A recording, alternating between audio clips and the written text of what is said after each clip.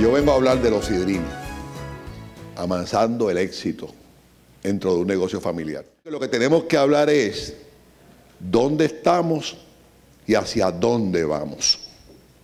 Y yo creo que eso es importante hoy, tal vez mucho más que pensar en otras cosas que normalmente deberíamos estar pensando. eso es el primer disclosure. El segundo disclosure es que yo no soy político, ni vengo aquí a lograr que ustedes se impresionen conmigo porque soy candidato a las elecciones del año del 2020, porque no están en mis planes. Ya yo pagué mis, mis deudas, como dice el refrán, y cuando les hable un poco sobre el Puerto Rico de hoy, les voy a hablar de eso. Lo tercero es que no tienen frente a ustedes a un gurú de nada. Yo fui un estudiante del montón. 2.5, no me gustaban las matemáticas, no me gustaba la ciencia, odiaba el inglés. Pero me gradué, me gradué, monté un negocio sin tener la experiencia del negocio, me caí 550 veces al piso, me raspé la rodilla, pasé vergüenza, pero hay algo que yo siempre me he podido contestar a mí mismo que siempre he dado el máximo en lo que hago. Así que donde yo estoy, sea aquí, aquí o aquí, tengo la absoluta certeza en mi corazón que he dado el máximo. Así que si yo fuera a describir a Manolo Sidre y yo estuviera allí donde ustedes están, no lo convertiría, no lo describiría como un, como un empresario exitoso. Para nada. Exitoso en son los Goya, esos son unos caballos. Yo describiría a Manolo Sidre, a una persona que nació con muchas limitaciones, entre ellas IDD, pero que no se quitó nunca. Y yo creo que ese es el primer elemento que todos tenemos que tener en nuestra vida a la hora de tomar decisiones. Seamos empresarios, seamos estudiantes, seamos lo que finalmente querramos ser. El sistema educativo del mundo, no podemos culpar a Puerto Rico porque Puerto Rico copia mucho del mundo como debe ser. Últimamente ha enfatizado muchísimo en los negocios de familia. Pero la historia de los negocios de familia no es tan linda como mucha gente parece ser. No es tan linda, al contrario. Y quisiera compartir con ustedes unos datos interesantes. En Estados Unidos, el 70% de los negocios de familia fracasan o se venden. Miren esto, fracasan o se venden. En Brasil, los 20 negocios más grandes son negocios de familia. En Noruega, el hijo mayor es el que hereda el negocio. Sin embargo, la composición hereditaria continúa con el resto de la familia. En Alemania, los 50 negocios más rentables que tiene el país son negocios de familia.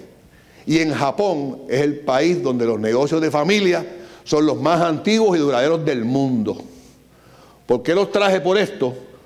Dentro de todo este proceso que estamos que vamos a discutir hoy, nos estamos dando cuenta que dentro de los negocios de familia hace falta estructura precisamente para que no pase lo que le pasa a los Estados Unidos, que es el modelo que copiamos nosotros, que el 70% de los negocios fracasan cuando son de corte familiar, y a lo que debemos aspirar, que es sin duda alguna la disciplina nipona, donde los negocios más exitosos y más duraderos del país son negocios de familia. ¿Cuáles son las reglas básicas que muchas veces tenemos y que nosotros los padres, los abuelos, que queremos ser los superpadres y los superabuelos, nos, nos, enfocamos muchas veces, que tratamos de obligar a nuestros hijos a unirse al negocio. Estudia en la Interamericana, hazte un profesional y vente al negocio. Sin experiencia, a lo mejor no, no es lo que a ustedes les gusta, pero desde que se entran en universidad y desde que el viejo hace el cheque, le está diciendo, avanza papá, que cuando termine tienes que venir para acá porque yo no voy a descansar. No necesariamente porque les gusta. Lo segunda, segundo es que no podemos simplemente enfatizar que nuestros hijos se unan al negocio por simplemente unirse al negocio.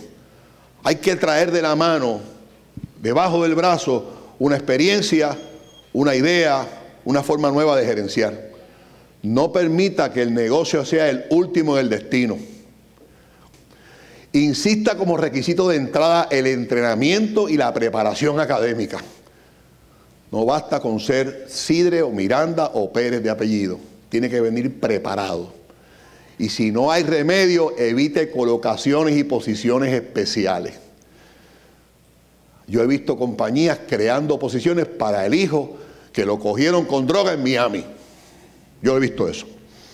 Así que cuando usted hace las cosas incorrectas, los resultados no son correctos. Contrate, si posible, una empresa extrema que evalúe su gerencia, incluyendo los miembros de la familia. No sobrecompense por ser solo miembro familiar. Abra las posiciones a la competencia y aplique el mismo perfil al miembro de la familia preparación, edad, experiencia y peritaje. Si el miembro de la familia no pasa la entrevista y no logra el empleo, debe de irse a otra empresa. Exija varios años de experiencia exitosa fuera de la empresa. Y si lo permite el negocio y el familiar lo pide, establezca un plan de desarrollo que incluya un posible mentor.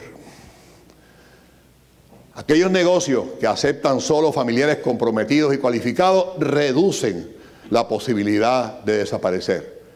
Evite incorporar familiares para seguir lo establecido, a menos que traigan ideas innovadoras. Desarrollen estrategias de crecimiento de negocio y creen responsabilidades específicas para miembros de la familia. Si un joven quiere pertenecer, o un hijo quiere pertenecer, o un nieto quiere pertenecer al negocio, exíjale cuál es la razón de llegar al negocio, cuál es el plan. ¿Qué somos nosotros? Pues mira, somos una marca líder en Puerto Rico, nos fundamos en el 1978, actualmente tenemos una presencia muy fuerte en los Estados Unidos, sobre 200 furgones y 18 estados de la nación americana. Los clientes principales allá afuera incluyen a Walmart, a Winn-Dixie, a, Bravo, a Kruger, a Costco. La línea de producción es una totalmente automatizada, producimos 4.000 libras de pan por hora en, la planta de panificación congelada y 20.000 unidades de repostería eh, eh, por hora. Y tenemos las certificaciones más completas en Puerto Rico, que es la SQF, certificaciones de Walmart, Wendy, Costco y McDonald's. Eso es básicamente lo que somos. Esto parece un montón, pero créanme, en Puerto Rico hay muy pocas industrias que pueden enseñar eso que está ahí. Siendo pequeño, nosotros no somos grandes. Todo lo que usted haga en la vida tiene que estar amarrado a algo, a algo. Óigame, cuando yo estudié en la Universidad Católica de Puerto Rico, competencia de ustedes aquí en Ponce, la misión y la visión yo nunca la escuché, porque no existía en la época en que estudiábamos. Era otra cosa muy diferente. Estos son experiencias que se aprenden en el proceso y que son experiencias que van constantemente cambiando y el estudiante de hoy día y el empresario hoy día no solamente se tiene que conformar con lo que estudia hoy día, el, empresario o el estudiante hoy día tiene que entender que tenemos que ser autodidactas porque los tiempos nos mueven mucho más rápido de lo que muchas veces nuestra mente quisiera. Pero aún así, la marca, ser la marca modelo de calidad, servicio e innovación en el mercado de panadería y repostería. Ser la marca modelo ¿Qué es ser la marca modelo? Yo lo comparo con ser boricua para que tú lo sepas. Y muchas veces pensamos, ¿qué es ser boricua para que tú lo sepas? Ser boricua para que tú lo sepas es celebrar que tenemos a Bad Bunny. Ser boricua para que tú lo sepas es que el Team Rubio gane el subcampeonato de béisbol. Pero ser boricua para que tú lo sepas también debe ser un país ordenado, un país educado, un país apoderado, un país responsable, un país que cuida a sus hijos, que cuida a sus envejecientes, que busque la calidad de vida, que sea seguro. Y a eso nos falta muchísimo. Así que cuando uno elige en una misión ser modelo, es una responsabilidad fiduciaria que usted obtiene de por vida. Porque lo que usted haga va a influir positivo o negativamente en la gente. La visión es servir y distribuir productos de pan y repostería de alta calidad que satisfagan todas las necesidades de los clientes y preferencias del consumidor. ¿Qué dice esa visión? Que quien manda en mi negocio no soy yo, que quien manda en mi negocio es mi cliente. Por lo tanto, yo estoy listo para suplir cualquiera de sus necesidades. Eso significa una gerencia innovadora, una gerencia diferente, una gerencia apoderada. Quise detenerme en esta visión y misión porque hoy día, donde quiera que vayamos, nuestra visión, ser el mejor negocio del mundo. What that means? Yo no sé. Yo estuve en la fábrica de Kia en Corea del Sur. ¿Saben cuál es la misión de Kia? Defeat Toyota. ¿Tienen una más completa que esa? ¿Ah? Estás diciendo en tu misión que vas a derrotar a Toyota, el, el automaker más importante del planeta. Mira dónde te pusiste la vara. Así que cuando estemos hablando de visión y misión en lo que vayamos a hacer, es extremadamente importante definir que lo que usted ponga en esa visión y misión es un compromiso de cada uno de ustedes y de su equipo de trabajo. Así que piénselo bien. No adorne el, PowerPoint para que todo el mundo diga, wow, qué visión más bonita. No, no, tiene que hacerla. Que es muy importante. Así que en el 1978 abrió su primera tienda. ¿Saben cuál fue el análisis que hizo? visitar 14 panaderías en Arecibo. ¿Y saben cuál fue el resultado de ese análisis? Que uno piensa, óyeme, no fue tan malo.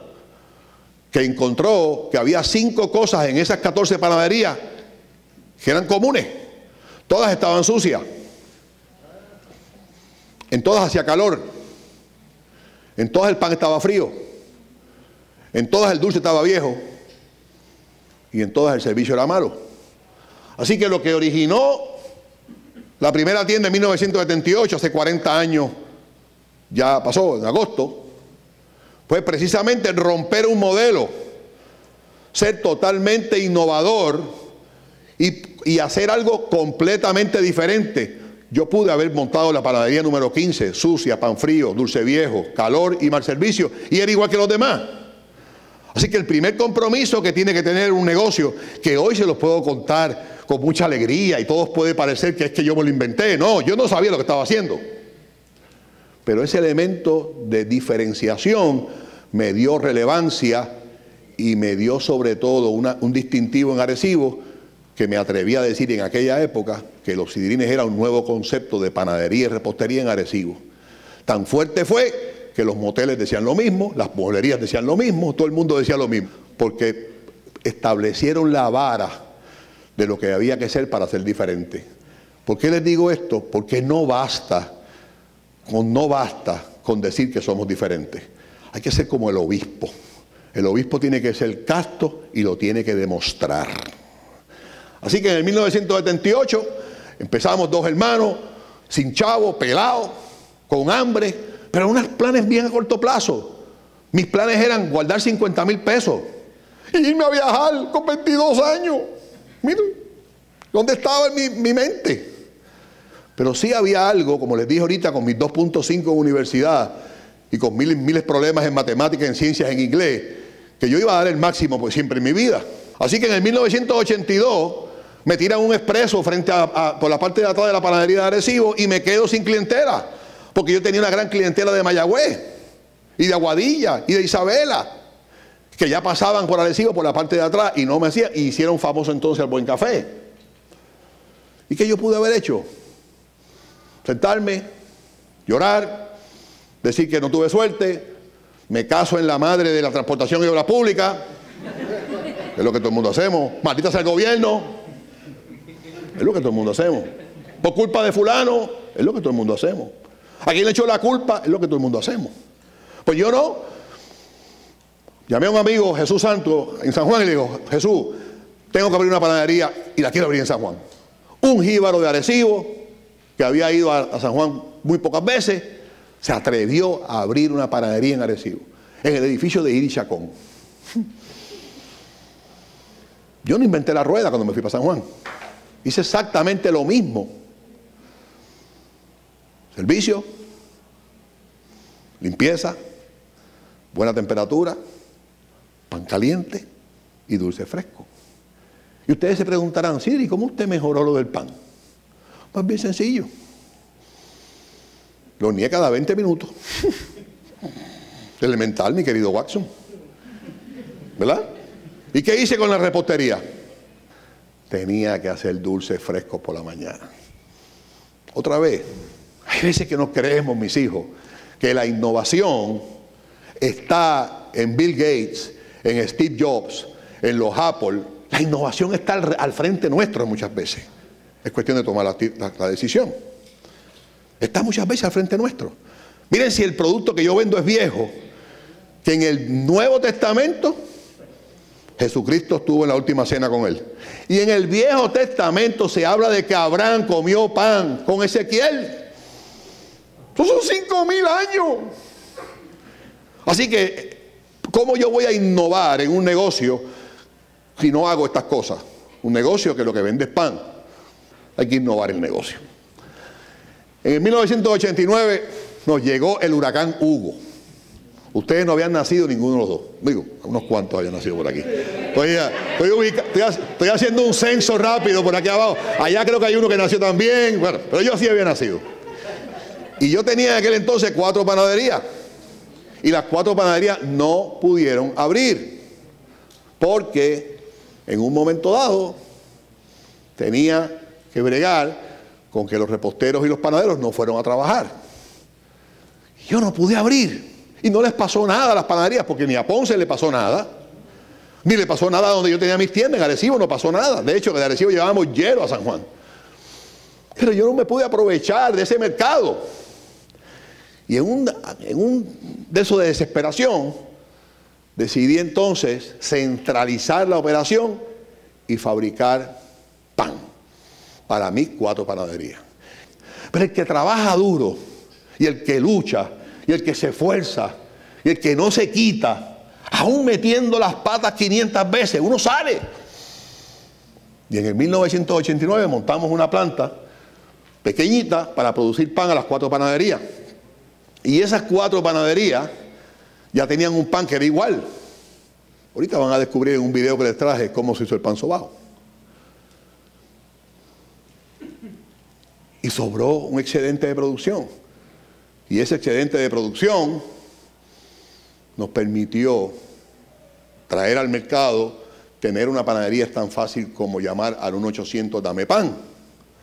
Y ese 1800 dame pan empezó en los negocios pequeños de alimentos, de ahí pasó a las estructuras que en aquel entonces era pueblo grande y amigo, está en todos los Estados Unidos, está en Puerto Rico, suple a Econo, suple a RAL, suple a Walmart, suple a Sam, suple a Costco, suple a todo el mundo. Cuando uno empieza a tener éxito, déjeme decir una cosa, el éxito es, un, es una cosa, si vamos a hablar de, de medidas de pata me tengo que sentar, porque estamos tres días hablando aquí. Pero el éxito es como la boca del cocodrilo. El cocodrilo cuando abre la boca, la cierra muy rápido. No sé si sabían eso. Así que si la presa logra salir antes de que él mastique, se salva. Si no, se guinda. El éxito es igual. Si usted entra al éxito y usted se aprovecha y, entra y lo aprovecha y, se, cierra la boca del cocodrilo, usted entró al éxito. Si no, simplemente usted coqueteó el éxito. Así que en el año 1993, como había montado la planta, como tenía como un montón de puntos de venta, como ya me, porque lo primero que hace uno es que le entregan trofeos y le hacen reconocimiento y unas semblanzas increíbles, parecía lo que ustedes me hicieron a mí hoy. Uno empieza a sufrir del mal del éxito. ¿Saben cuál es el mal del éxito? La sordera. Nos empezamos a creer que lo podemos y lo sabemos todo. Y un día, a mí me gusta la ensalada medio funny, pero a lo mejor les gusta a ustedes también. Lechuga, tomate, salami, guineo y vinagreta. Pero no, que no está mala. Y eso en el 93 lo hacía un restaurante en, San Juan que se llamaba Beef Lover. Y entonces estoy sentado en la mesa y se me siente un americano al lado. Ahí yo tenía cinco panaderías, la fábrica, le suplía producto a, amigos, a, a, grandes, ya me habían dado tres o cuatro premios, porque siempre dan premios, cuidado con los premios. Y entonces el americano se me acerca y dice, What's your name? Y ahí yo me molesté con el americano. You don't know me? Como si yo fuera Bill Gates.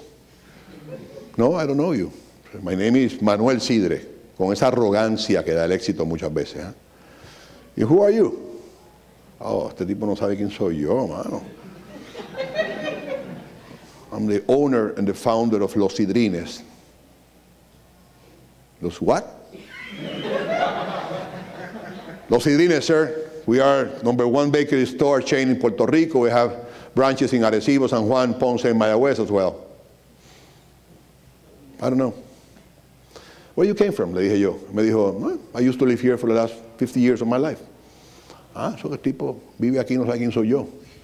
Y me, what are your plans for the future?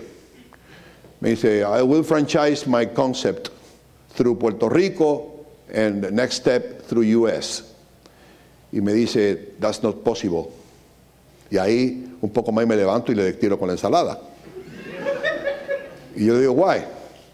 Because your food cost is very high.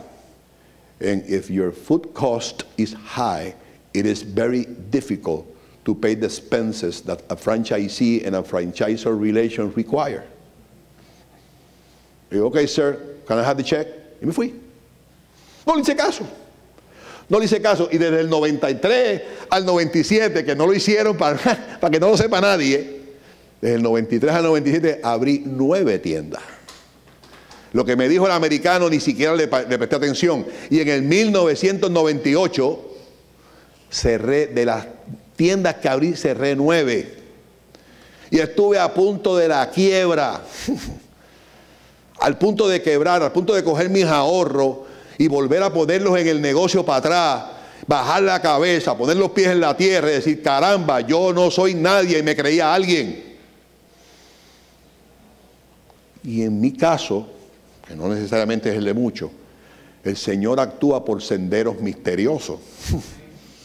y ese sendero misterioso del Señor conmigo, hoy, si volvieran a hacer, le pediría exactamente lo mismo porque me puso los pies en la tierra para prepararme a lo que soy hoy día a lo que pude hacer hoy día. Así que, otra vez, el, cerrar las tiendas para mí fue desastroso en el corto plazo. Pero si yo puedo traer a la mesa algo que fue lo que me impulsó a mí a no desviarme de quien yo soy, fue cerrar esa tienda. Muchas veces nos olvidamos. No permitan que nada les haga olvidar de dónde vienen y que nada los saque de lo que ustedes realmente quieren.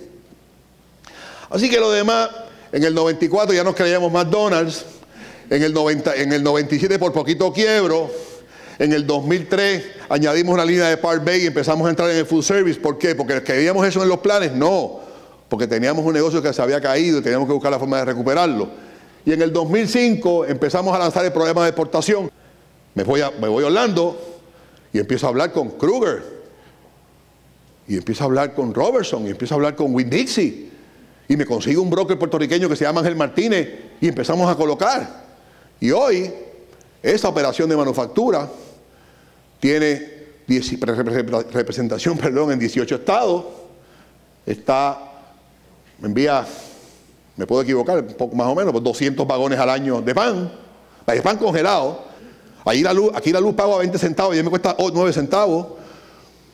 Pero tengo un millón de boricuas en el centro de la Florida que cada vez que le da un charrascazo a una libra de pan sobao, cierra los ojos y piensa que está en el yunque. Y eso, cuando usted lo adopta desde el punto de vista matemático y desde el punto de vista de resultados, viene a la mesa inicio un proceso de sucesión. Así que en el año 2003 inicié ese proceso que culminó en el año 2015 con la venta de mi negocio a mi hijo, a mi segundo hijo, que es el dueño de Sobao, Sobao Bailosidrine, que está en la avenida de Diego, en, el, Centro Europa y en el condado, y que próximamente va a abrir en el área de Guaynabo, y a mi hijo Guillermo y a mi hermana María, les vendo el negocio de la planta, pero para que yo llegara a 2015 a completar una faena de sucesión, lo primero que logré hacer fue un consejo familiar.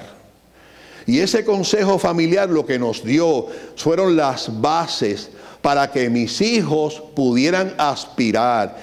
Nuestra historia está basada en mucho aprendizaje, en mucho try by error, pero con un commitment importante de no quitarnos. Y al final del camino, mis hijos, en el país que vivimos, donde se penaliza el fracaso, el fracaso es lo único que nos puede mover al próximo nivel en cualquier cosa que hagamos en nuestra vida. Así que, si no tiene unos pilares muy básicos, voy a pasar por ellos muy, muy, muy rápido. Sus productos tienen que ser que, sean lo que precisamente quiera el, quiera el, cliente, no el que me guste a mí. Eh, los procesos tienen que ser lo más limpio y transparente posible, cumpliendo con todas las regulaciones habidas y por haber. La tecnología es parte integral, muy importante, lo que no se mide, no se sabe dónde está, nosotros lo medimos todo, desde el GIL hasta la rentabilidad, hasta, el, hasta todo del proceso, y la calidad nunca, nunca, nunca es negociable. Pero como ustedes pueden ver, arriba de ese triángulo está la marca, ese viene siendo el, punto de agarre del negocio, pero aquí abajo está lo que lo sustenta. Y nuestra gente son nuestros asociados, que le llaman asociados, le llaman empleados, yo les llamo simplemente nuestra gente.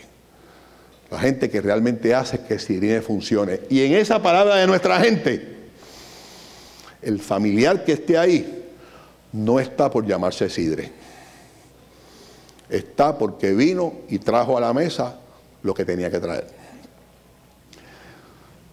Dentro de ese nombre de Sidrine, dentro de esa estructura de Sidrine, dentro de ese producto, dentro de esa innovación, hay tres cosas que ustedes se lo tienen que aplicar. Y cuando digo ustedes, el país.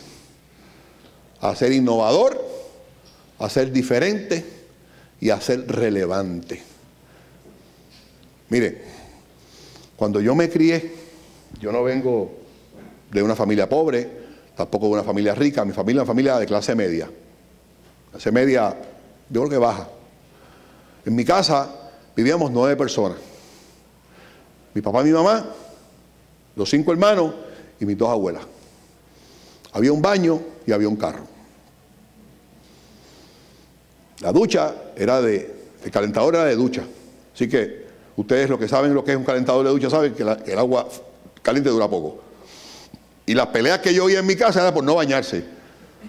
Pero yo nunca oí peleas porque el carro era chiquito, o porque los cuartos eran pequeños, o porque yo tenía que dormir con mi hermano, o porque mi mamá no daba, le daba basto para lavar la ropa. Pero mi generación, que no tenía celular, que no tenía computadora, que no tenía acceso a información, mi generación tenía una cosa que la generación de ustedes no tiene. Es que mi generación tenía la certeza de que si yo terminaba mis estudios, al otro día yo tenía trabajo. Sin ningún problema. Y mi generación tenía algo que ustedes no tienen. Que podía caminar por una calle yo podía pensar que me podía caer en un boquete porque había boquetes en mi generación. Pero yo nunca pensé que me iban a asesinar o que me iban a asaltar, porque eso no existía. Y mi generación tenía tres universidades. La Interamericana con dos sucursales, bueno, aquel entonces tres, tenía en Arecibo también tenía una. La, la, Católica con dos, una aquí y una en Arecibo. Y la Yupi con una. Eso es lo que había. Así, no había más nada. Y las madres, que era allá arriba, y para mujeres. Hoy, Puerto Rico tiene 135 centros docentes. Puerto, Singapur, la octava economía del mundo, cuatro veces más pequeña que Puerto Rico, tiene cinco. ¿Qué quiere decir que tenemos 135 universidades? Que hay una competencia en la calle bien dura. Así que ese sentido de innovación, de relevancia, y de diferenciación hoy cobra mucha más vida que en mi generación, porque hay más competencia. Si usted cree que yo cuando posteo una posición recibo 50, 60, 70 resumé, no resumés mal hecho, resumés bien hecho.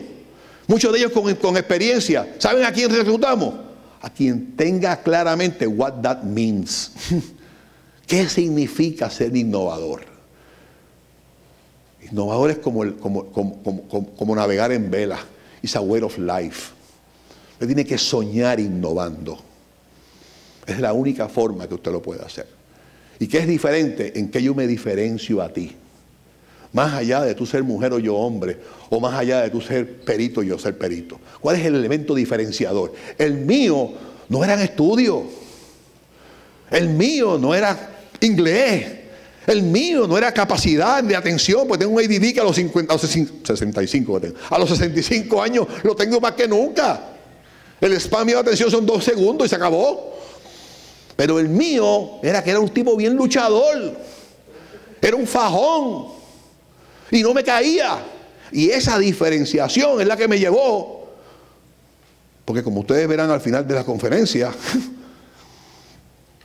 el pan no fue un invento mío.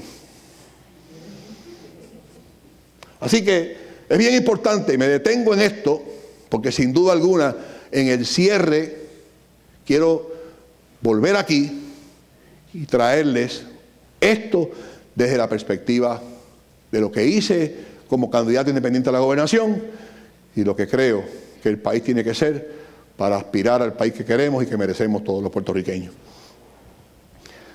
Nuestra propuesta de valor tiene que ser explicada en cinco minutos. Gente es loca. ¿Cuál es tu plan? Yo quiero hacer una torre gigantesca que cuando pasen los aviones la gente salude y se tome un selfie. Y, entonces la torre baja por un elevador y yo llego al elevador y me tomo un café abajo y cojo el café y me monto en el carro. Pues cálmate, yo no sé lo que tú vas a hacer, flaco. O una torre, un avión, un café. ¿Qué es lo que tú quieres hacer? La propuesta de valor de usted en su negocio, en su plan de negocio, tiene que ser bien sencilla. La nuestra es bien clara. Una marca, un compromiso, una información para que usted desarrolle su negocio un liderazgo al servicio de nuestro cliente, con una excelencia operacional de primera, con una innovación todo el tiempo. Esa es la propuesta de valor de Sidrine. ¿Ustedes han visto pan por ahí por algún lado? O quesito, o bizcocho, o Mallorca. Eso se aplica a cualquier cosa que usted quiera hacer el día de mañana. Siendo la marca lo más importante, la pasión que nos, que nos nace y brota del compromiso la data, que es la información que usted recoge para que su cliente crezca, el liderazgo, que es lo que precisamente lo posiciona en el mercado a base de la misión y la visión, la excelencia operacional, que son los, procesos que sean lo más lean posible, y la innovación constante como parte del, proceso. Y esto pues me trae a decirles que, mira, tenemos unos cuantos clientes aquí, pero tenemos un montón de clientes fuera. El pan de los sidrines está en 1.200 tiendas en los Estados Unidos a través de Walmart, a través de Fiesta, a través de Sams, a través de Costco, a través de Bravo. Y en Puerto Rico está a través de Cono, de Amigos, de Selecto, de RAL, de Coscar, de todo el mundo. Miren qué, qué responsabilidad tan grande nos queda a nosotros. ¿Cómo mantenemos este mercado? ¿Cómo lo podemos hacer crecer desde una isla que no tiene costo? De una isla que tiene 23 centavos el kilovatio hora, de una isla que invierte el 98% de su tiempo en la pelea chiquita y el 2% en lo que no funciona. ¿Cómo lo vamos a hacer? Y decía que el modelo de Puerto Rico había que cambiarlo, el, de, el económico, a uno de empresarismo y no dependencia. Muchas veces pensamos que la dependencia está en los cupones, la dependencia está en la mentalidad de muchos como nosotros aquí, que pensamos que si el gobierno no nos ayuda no podemos hacer nada. O si las universidades no nos da, no podemos hacer las cosas. Porque aquí a los, puertorriqueños muchas veces, en vez de ponernos una nalgada cuando nacemos, nos ponen dos cositas aquí. Una sale un angelito o un diablillo, no sé. Se para aquí y dice, Sidre, búscate quien te resuelva. Y el otro diablillo por la noche sale y te dice, Sidre, búscate a quien echarle la culpa. Eso lo aprendí con, con Simon Bell. Lo segundo que me habló es que había que cambiar el modelo social a uno de apoderamiento y de responsabilidad. ¿Y qué, ¿Y qué es apoderamiento? Ser dueño de tus decisiones, pero ser dueño de tus consecuencias. Eso es, eso es apoderamiento. ¿Y qué es responsabilidad? Que tu entorno es tu responsabilidad, no es del gobierno. O todavía pretendes que la grama del frente de la acera la arregle el gobierno. Mire, esto no lo digo por, por actarme, lo digo para que ustedes tengan claro. Cuando el huracán María, a mí me dio un síndrome de Rambo y cambié el carro, me compré una boba 4x4 y me fui para la isla a ver cómo me podía ayudar. Y me encontré con dos realidades muy tristes. La primera, que a las 10 de la mañana la gente estaba durmiendo. durmiendo. Y lo segundo es que cuando yo pasaba con las placas solares o con las plantas o con las botellas de agua, me los encontraba en el balcón. Y paníamos la guagua frente a la casa y ni siquiera este paso hacían para buscar la botella de agua, había que llevársela al balcón. Y así nos arregla un país. Así nos arregla un país. Y de eso va a ser prácticamente mi, mi cierre en el día de hoy. Pero es importante. Hay un 2019 dando vueltas, pero obviamente fortalecemos nuestra presencia en Puerto Rico. Don, fortalecida ya está. El reto grande es cómo la mantenemos. con esa competencia y con todo el mundo entrando a Puerto Rico a diestra y siniestra, porque ustedes se han estudiado el CAFTA, los seis regiones de CAFTA tienen las mismas ventajas que tiene Puerto Rico con los Estados Unidos. Y como Puerto Rico es parte de los Estados Unidos, pues lo que se produce en Guatemala, en El Salvador, en Colombia, en Costa Rica, en República Dominicana y en Panamá, puede entrar aquí sin problema ninguno. Pero ellos no son bobos. Ellos protegieron su industria local. Así que yo no puedo entrar en República Dominicana a vender pan. Y si entro me cobran unos aranceles increíbles. Así que yo no tengo otro, remedio que fortalecer mi mercado aquí y ver cómo yo lucho con el que viene de afuera, que hace una palabra que yo se, le pido que la estudie, se llama dumping, que dompea todo el tiempo para llegar y comprar cuotas de mercado. Continúa nuestra expansión en Estados Unidos, vamos a abrir una planta ahora próximamente en Plain City, precisamente buscando a mirar los costos y, de, y, obviamente pues va en línea con continuar esa expansión en los Estados Unidos. Una de las cosas que tiene que tener un empresario es que no nos podemos quedar con lo que, con lo que sabemos. No nos podemos quedar con las fórmulas mágicas y no nos podemos quedar con los secretos por el simplemente hecho de que no queremos compartirlo, queremos que sea una herencia de familia el empresario, sea de familia o no sea de familia, tiene una responsabilidad fiduciaria de transmitir sus experiencias a quien está al lado. Asegúrense en que cada uno de ustedes, cuando echen para adelante, como yo sé que va a pasar, estiren la mano y toquen al que está cerca de ustedes. Y asegúrense que lo que ustedes le puedan decir pueda significar, significar algo en su vida. Entrando de nuevo en el tema del sendero misterioso, yo tuve esa suerte. En el 1997 a mí se me llama la Universidad Interamericana para presidir el primer capítulo de Small Business and Technology Center de Puerto Rico. Un proyecto que había fracasado en la Universidad de Puerto Rico y había llegado a la Interamericana. Y ahí me di cuenta la gran necesidad que tenían cada uno de ustedes de alguien que se sienta al lado suyo y les diga las cosas bien sencillas en arroz y habichuela, pero que logren cambiar un poco el paradigma, porque no hay muchos buenos mensajeros en donde ustedes caminan.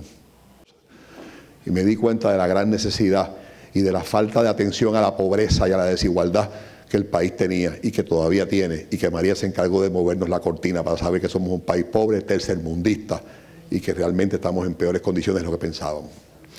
En el año 2002, Enrique Cortés me nombra presidente del Comité de Industria Puertorriqueña y me doy cuenta que la industria puertorriqueña eran estribillos de campaña política, de tribuna, pero nadie hacía nada por nada. No les importaba que el negocio echara para adelante porque las 936 ocupaban prácticamente un espacio. Y en el, y en el 2004, 3, presido entonces la Asociación de Industriales y logro impulsar medidas que le dieran un standing diferente a la industria local y que hicieran, se hicieran cambios en otras áreas medulares del país. Ahí empezó mi vida a cambiar.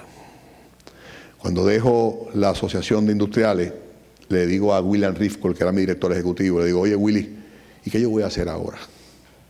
He estado con SBTDC desde el 97, la Cruz Roja, el, Comité de Productos de Puerto Rico y los industriales.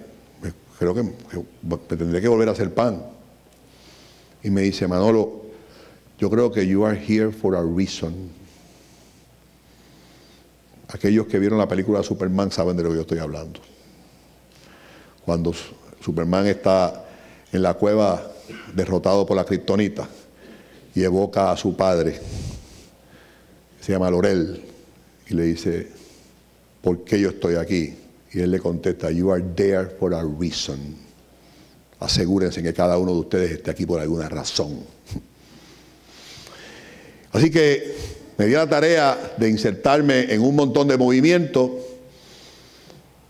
de ese movimiento que me inserté desde conferencias a universidades, a organizaciones privadas, empresariales, la radio y la televisión tuvo cierta mirada en mí, me dieron oportunidades con Jay Fonseca, con WKQ, con Pelota Dura cuando estaba en sistema, hice una que otra columna en el Nuevo Día, una que otra columna en el Vocero, escribí, no había el Facebook ni el Twitter que hay ahora, y de la noche a la mañana en el 2015 me sentí un fotuto, porque todo el mundo me escuchaba, todo el mundo me oía, así me hacía como hacía ella. Pero no pasaba nada. No le estaba dando el puño en el sitio correcto al boxeador. Se lo estaba estaba enviando el mensaje al país y no le estaba enviando el mensaje a quien realmente tenía que hacerlo. Así que sin pretender ganar la gobernación, pero sí con tres objetivos claros. Levantar la vara, no por caras lindas, ni por bailes, ni por colores de partido. Levantar la vara de la discusión, convocar a otros a que se insertaran y sacar una masa electoral contundente que enviara un mensaje, me presenté como candidato independiente a la gobernación. Para adelante, no claudiqué. Y me presenté a las elecciones del 2016. ¿Por qué les digo esto, mis hijos? Porque nos llegó la hora de cambiar para dónde vamos. Hay un refrán africano que dice que nosotros no heredamos la tierra de nuestros padres, se la cogimos prestada a ustedes, a la generación de ustedes. Se las hemos entregado destruida, quebrada y endeudada. Y hoy tenemos el atrevimiento de pararnos frente a ustedes y decirles que ustedes son el futuro y los que van a echar para adelante el país son ustedes. Y yo me niego a que eso sea así, porque yo soy parte del problema. Y como parte del problema, tengo yo que ser parte de la solución. Así que si ustedes me preguntan por qué yo hoy que estoy aquí, que me voy en una hora y media para Estados Unidos, no sé si llega a San Juan, por qué yo estoy aquí y no me molesta estar aquí y no me molesta que el avión me deje, no necesariamente porque me gusta hablar, que creo que me gusta hablar un poquito. Estoy aquí precisamente porque soy parte del problema y tengo que ser parte de la solución. Apodérese, sea responsable, asuma la dirección que la vida le da, tome decisiones, enfóquese en el resultado, corte aunque le duela, sea innovador, sea diferente y sea relevante, mire para adelante y no le tenga miedo a la caída y aprenda lo que hoy día nos enseñan, que muchas veces pensamos si es valor o no valor, pero que tarde o temprano, al paso de nuestros años, pasa como el golf, nos sale el handicap. Lo que aprendimos nos viene bien y lo que no aprendimos nos da un cantazo bien duro como me ha dado a mí. Muchas gracias por la oportunidad y que Dios los bendiga. Gracias.